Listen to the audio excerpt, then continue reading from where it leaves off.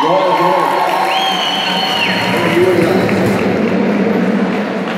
Nesse momento, vamos ouvir uma saudação pelo pastor Paulo Martins.